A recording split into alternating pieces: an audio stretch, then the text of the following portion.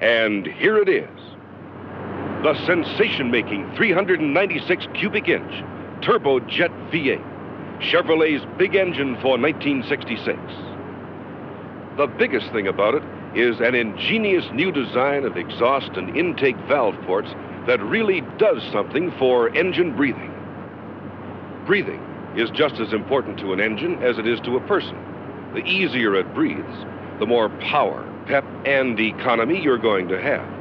In older type engines like this one, breathing is restricted by sharp bends in the manifold passageways and in the design of the valves. But in the 396, Chevrolet's new aircraft type valve system and special port design produce straighter passageways, making it easier for the fuel mixture to get in, the exhaust gases to get out. Everything about this engine contributes to its greater efficiency.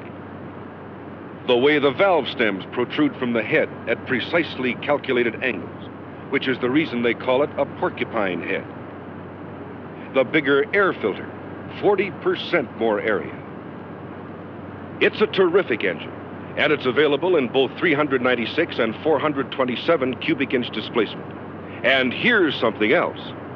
Your special high performance engines carry the same Chevrolet warranty as your other Chevrolet engines, while Fords and Plymouths have only a limited warranty. Your performance engines cost less than Ford engines of comparable power and equipment.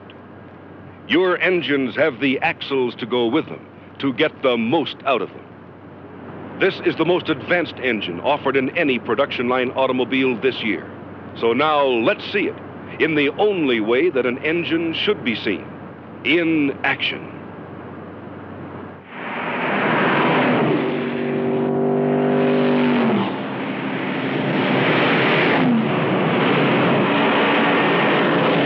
So open up your mind to the full opportunity before you and sell power in 66. Sell the new 6, the smoothest operating 6 you ever saw. Sell the 283 V8, the most popular V8 ever built. Sell the 327, more power this year. Sell that sensational new deep breathing 396. Sell it in all three blazing power options 325 to 375 horsepower. Sell the red hot power punching 427, the street version at 390 horsepower. And the high performance 427 with solid lifters at 425 horsepower. In 1966, your big story is engines. Demonstrate and sell.